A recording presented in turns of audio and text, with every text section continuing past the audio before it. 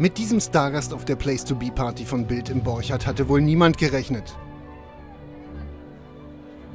Plötzlich reitet Schauspielerin Emilia Schüle, ganz wie zu Zeiten des berühmt-berüchtigten Studio 54, auf einem Schimmel-in-Szene-Restaurant ein.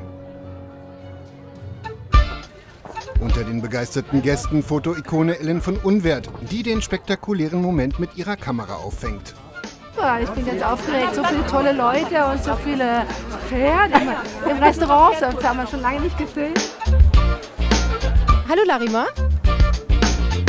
Das ist das Wendy-Pferd für alle kleineren, die äh, zum Herzen. Und größeren, Entschuldigung, ich bin auch ganz aufgeregt. Okay. Also er ist schon ein kleiner Star.